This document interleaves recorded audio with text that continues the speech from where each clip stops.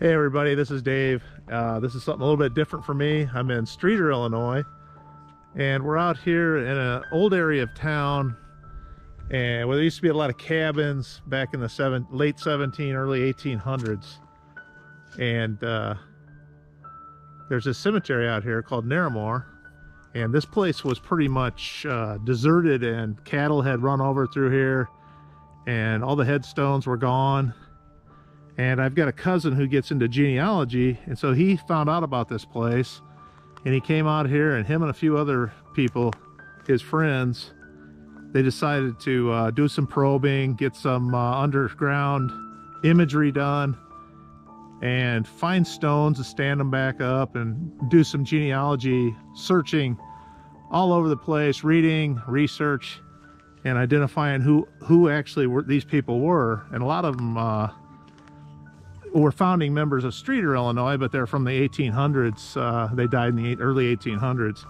And uh, John has been showing us, uh, John Kettman, who's my cousin, has been showing us how they go in and do some probing around and they find stones, headstones.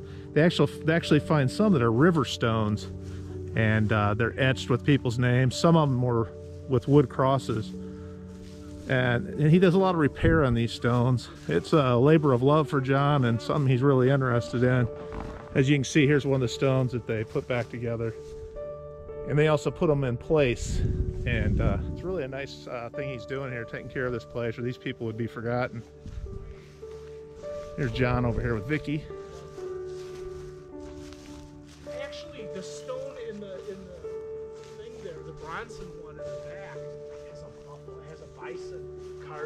Base of it. We'll have to see that one. Yeah. So here's an example of a stone that was just a stone taken out of the river, and the name was carved in it. Uh, this was back in 1900. It Looked like they uh, passed away. And uh, here's one of the main family members that the place is named after.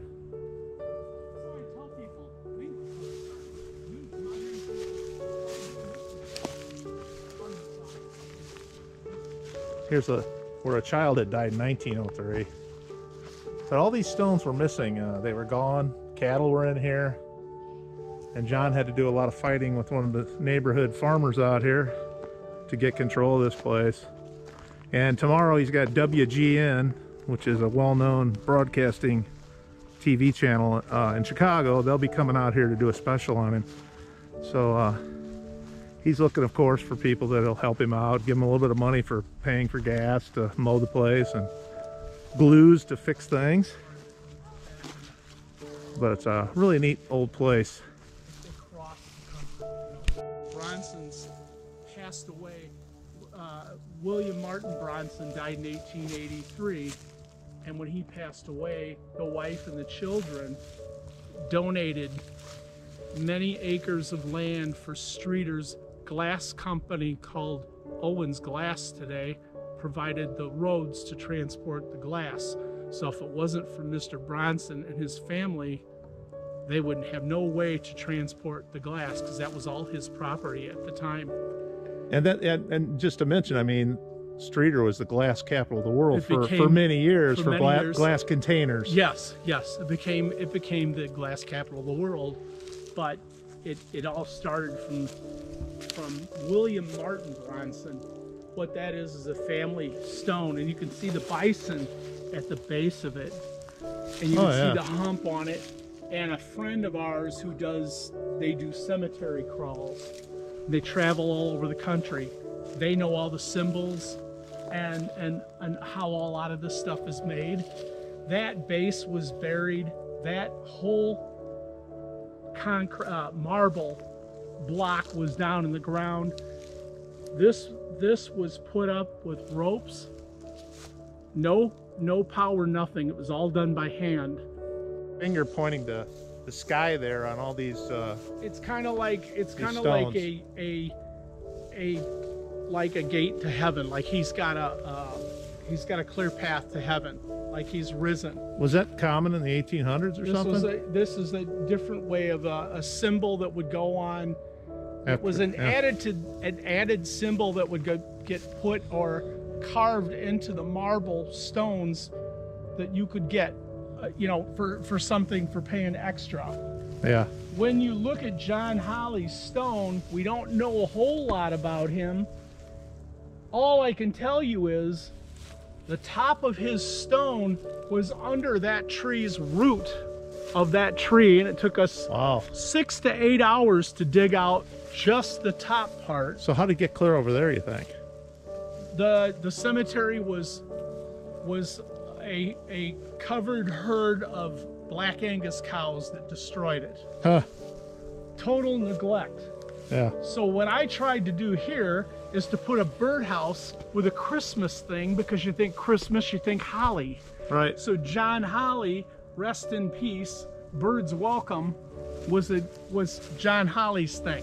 Okay, nice. So the birdhouses, when when full, would communicate to create a spirit of these people, like they'd communicate afterwards. That's, Okay. That, that was the thing that I had with it. Baby that John found was like 20 days old and it was never accounted for in any of the genealogy of the family. So uh, it's just an interesting discovery made out here. So what I'd like to do is take the divining rods and show you how they crisscross and flip as I walk this whole aisle. That'd be interesting to see. They will male, female, died at birth, all that. They just wing and wing out as you crisscross and find bodies. It doesn't look like there's nothing here, but when you find when you cross over, you can you can either tell how long how tall the bodies are and whether or not it's a male or female.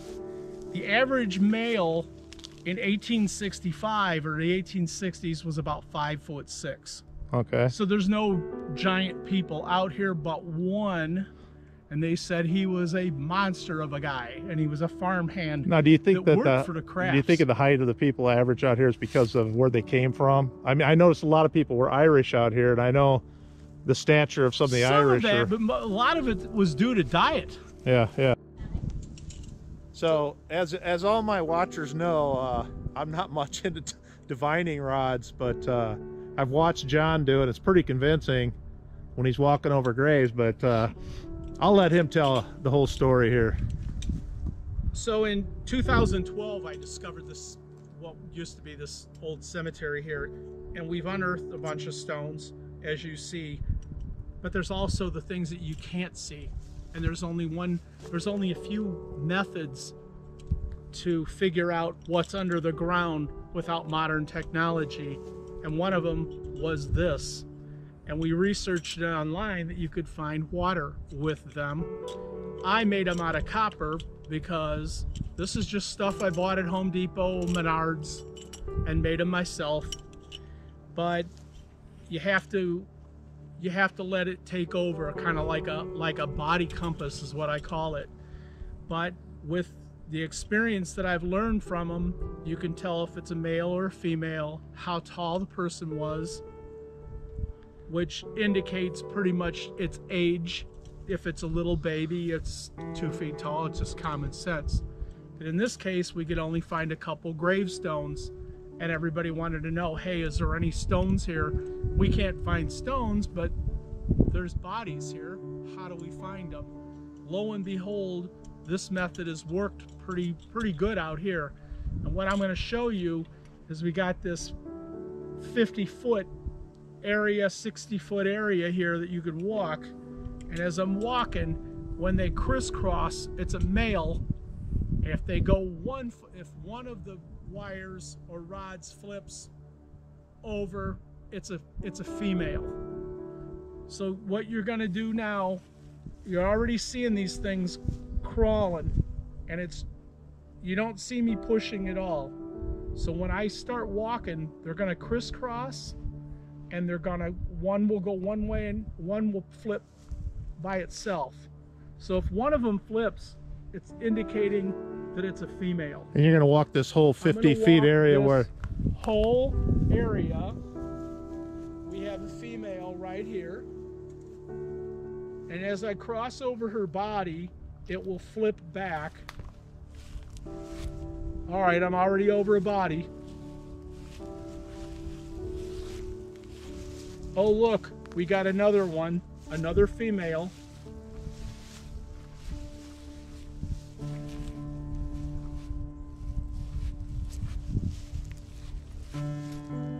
Looks like we got a male here, maybe a mom and dad, maybe a, a farmhand or something. Look at that. Now this will work even if you're on a 40 mile an hour wind, it will still move that way so here I'm crossing over. Definitely female, you've seen that thing swing by itself. That ain't me doing that.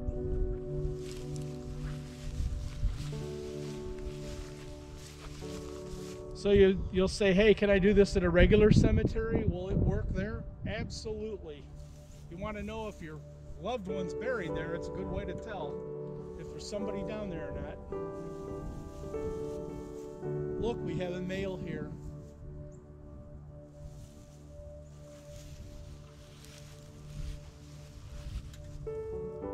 Another male. Here we're coming up to two stones or one gravestone with two brothers on it.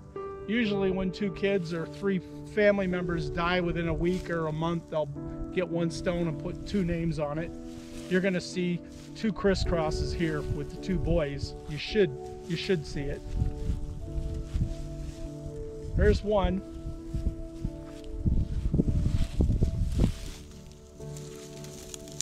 The brother. He's right here. I'm right, right, right on top of the brother. Okay. Now I'm crossing over. That's a that's definitely a male, and that's marked off with a stick.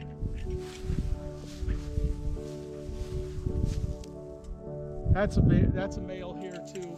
It's marked with a piece of river rock, which probably had a, a wooden cross in front of it at the time because people didn't have the money.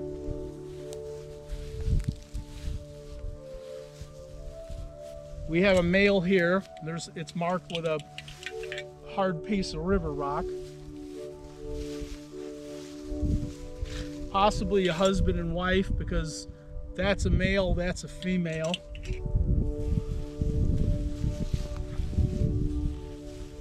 We have a female here. Whoop, and a male. There's a male here too, look at that. Okay.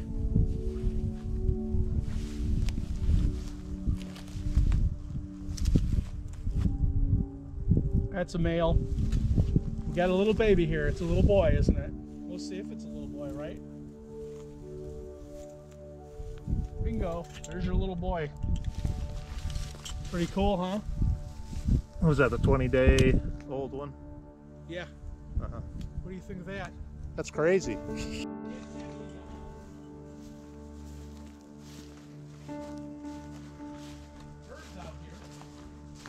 So he puts up these birdhouses and uh, the owls come in when there's eggs in them and just rip apart the birdhouses and destroy them.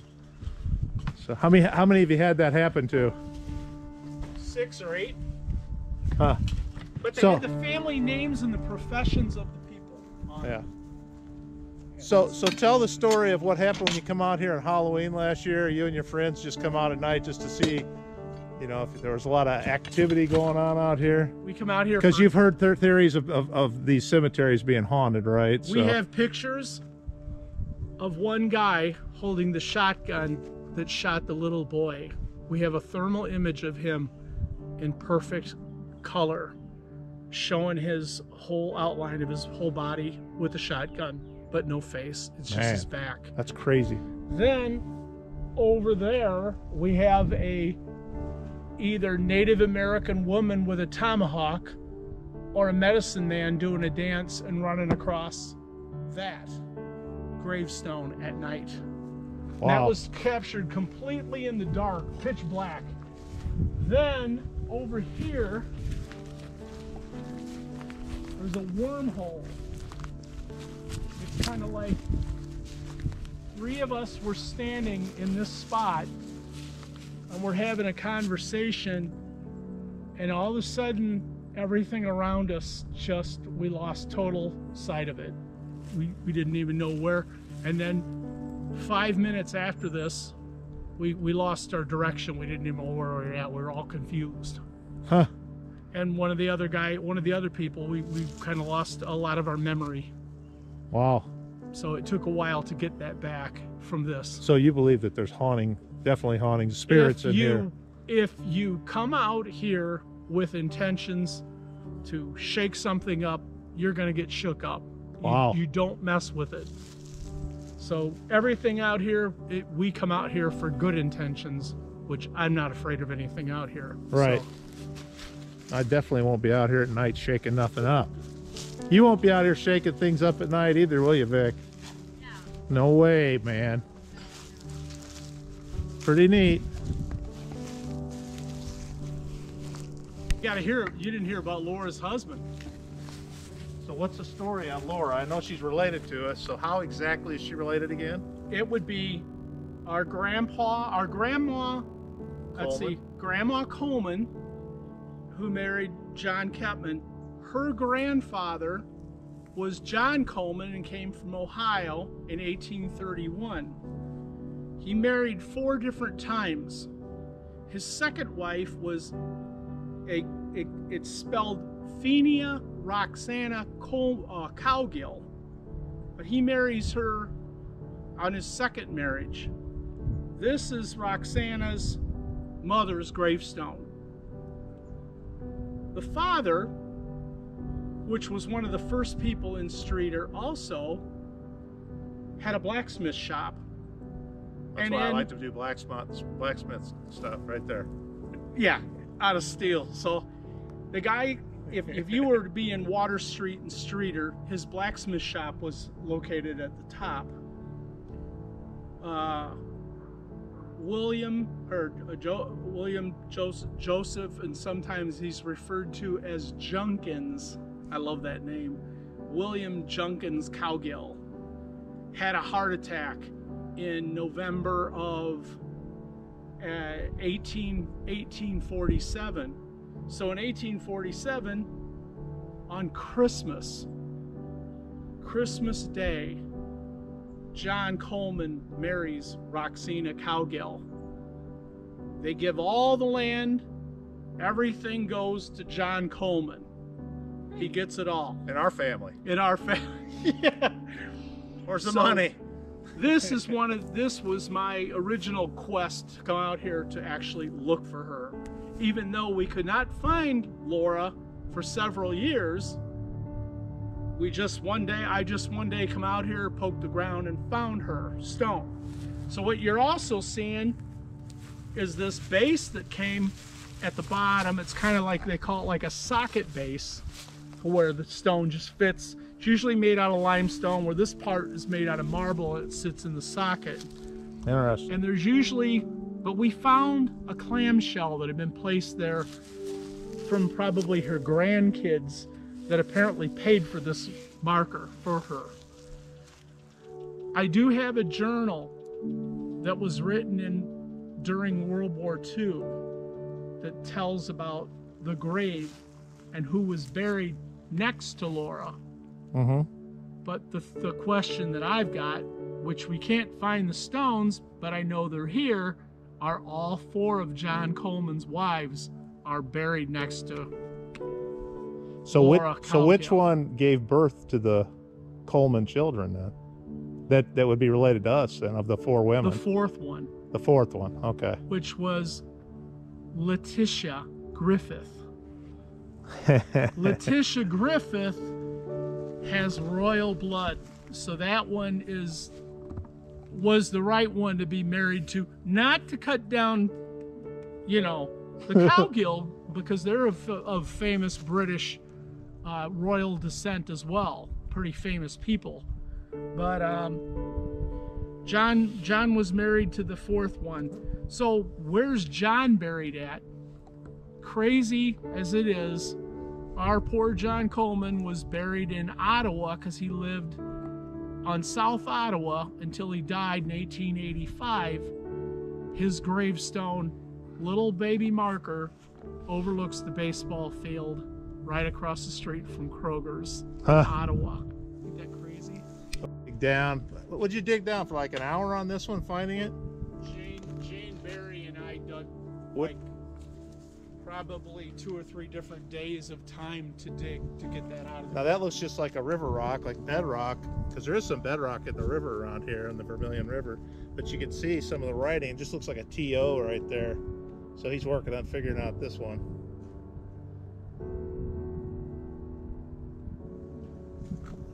If people wanted to donate or they want to go to your site that specifically talks about what you do, Yeah. eh, I mean, do you have like a GoFundMe page set up? I have up? a I have a bank account set up a a non-profit uh, bank account which is all 100% used for uh, fixing up the lawnmowers or weed eaters or anything uh, supplies to clean the stones yeah. tools to fix the stones. All of that money, 100% of it is used from that account. That's where all the money comes from.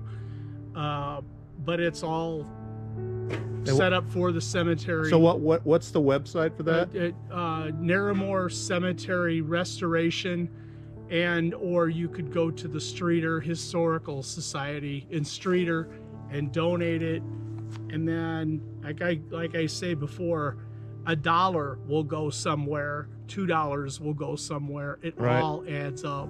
I'm not. so so what I'm going to do is I'm going to put that uh, I'll get your website link and I'll put that in the information of this video and people can go click on that and then and uh, and I, I know firsthand I you know I've known John my whole life so I know this is uh, going to go to this to this cemetery to, so that these people's memories and their history is not lost so. story can be told to the world. Awesome. we would say this you know what what's the purpose of us coming out here? What's the reason for it? And it's they want their story to be told. They want they want to they want the people of today to hear about what they dealt with back then because prior to the area newspaper going back to 1870 these people arrived here in 1831 right. Their story needs to be told somewhere and i've got it. All right John uh, hopefully some people Thank will uh, check you out. Thank you